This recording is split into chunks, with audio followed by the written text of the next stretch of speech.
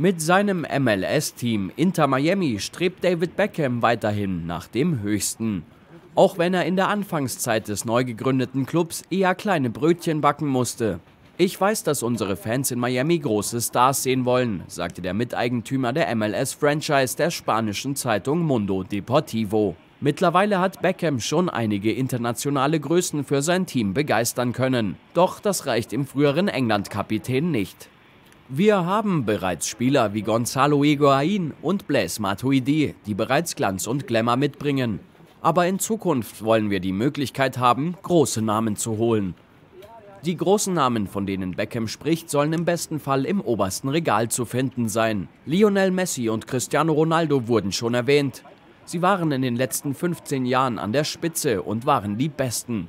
Wir wollen die besten Spieler anziehen und das sind die Spieler, die wir hierher bringen wollen. Im vergangenen Sommer musste Bayer Leverkusen Kai Havertz zum FC Chelsea ziehen lassen. Leverkusen konnte den torgefährlichen Spielmacher bedenkenlos ziehen lassen, weil man in den eigenen Reihen bereits seinen Nachfolger vermutete. Florian Wirz. Für Sportvorstand Rudi Völler besteht dieses Mal nicht die Gefahr, dass man das nächste Juwel ziehen lassen muss. Florian wird bleiben, da lassen wir auch nicht mit uns reden, sagte der 60-Jährige in der Bild am Sonntag.